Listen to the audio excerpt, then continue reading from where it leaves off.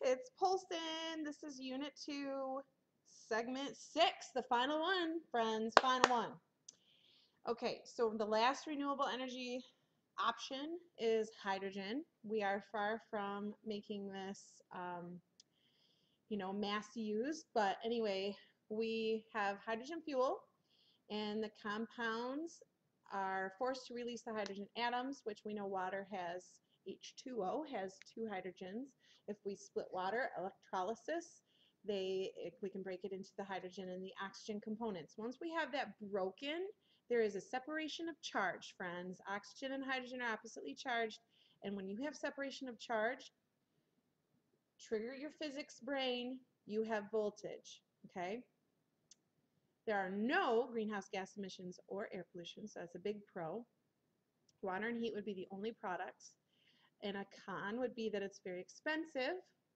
Um, right now the infrastructure is not in place, but a promising known fact is that hydrogen is the number one most abundant element in the entire universe. So we have a lot out there that we could potentially use.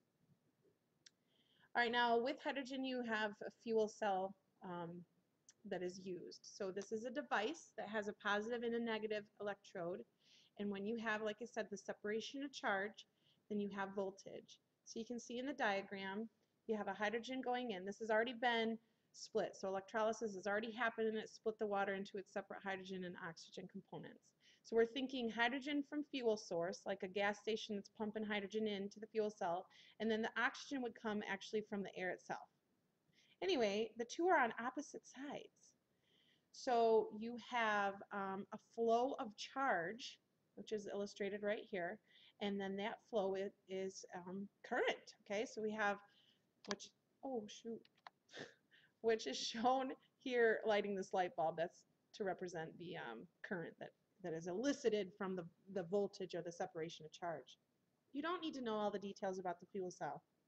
You just need to know that um, what it is and what it's used for. So it's used to produce electricity, and I can show you one, an example of one in class, just a really small one that I have with a little hydrogen car that is um, old and kind of pathetic, and it barely moves. But it works. It works.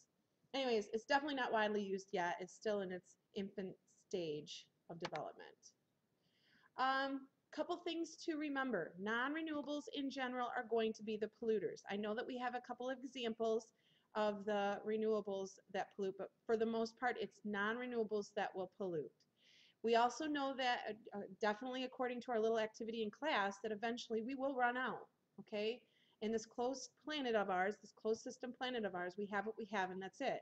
So what we're using is, we're using these materials just faster than they can be naturally replaced, and so we will run out.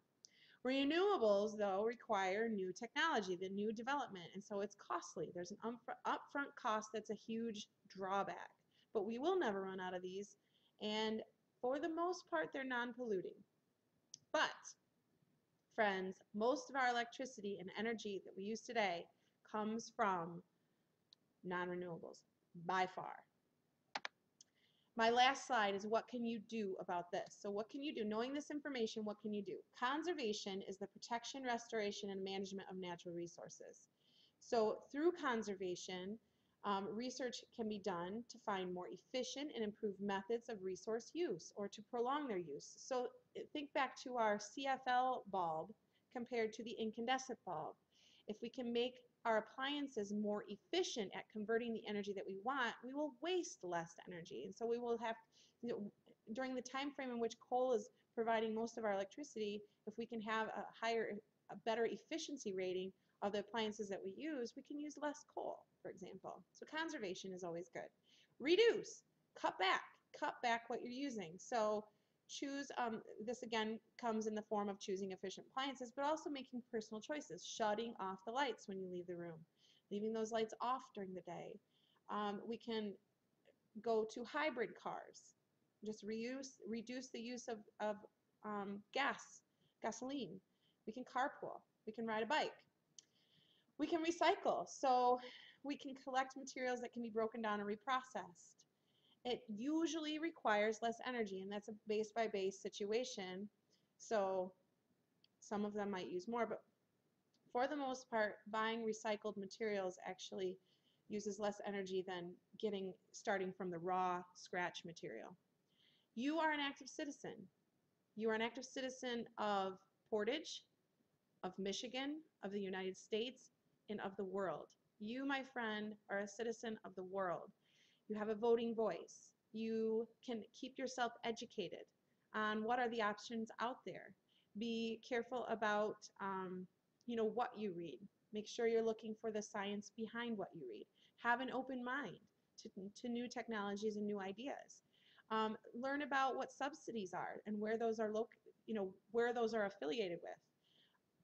Understand the acts and the laws, the ones that already exist and new ones that want to be passed.